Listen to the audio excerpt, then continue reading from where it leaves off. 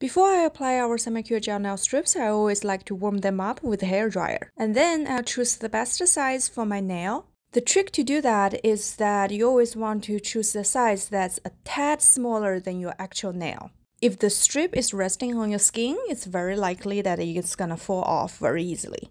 And if it's way too small, there's always a big gap between the strip and your nail. And as you can see now, the strip is still very soft and we'll put it on now. As you can see, the strip just covers my nail. And then we'll use cuticle pusher to secure the nail strip. The next thing is something I start to do recently and it's very crucial to gel nail strip application. I'll take the cuticle pusher that comes with the package and use the pointy part to roll down the edges. This way you can avoid lifting. Also, when your nail grows out, your hair won't get stuck on your gel nail strips because the edges are very well sealed. So make sure you do this step. Next part is easy, you just need to cut the excess with a pair of scissors. After you cut it, the edges will be a little rough, but that's okay.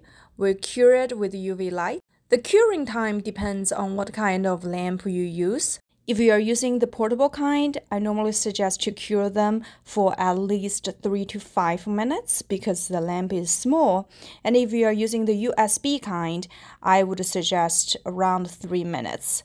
And of course, if you're using the big lamp, you can cure them for about 2 minutes and sometimes maybe 3 minutes. It all depends on the strip. After you cure the strips, they should be hardened, and when you tap on them, they should have a sound. Next step is to smooth the edges out with the nail file. We'll smooth them out one by one, and please do it slowly and patiently. Last but not the least is to use the top coat. This step is optional, but I always do it. It can help the longevity of the gel nail strips for sure, and I always seal the edges with the top coat as well. I find this way they won't lift from the top. After applying them on every nail, I'll cure them as well. Of course, the curing time depends on the kind of lamp you use.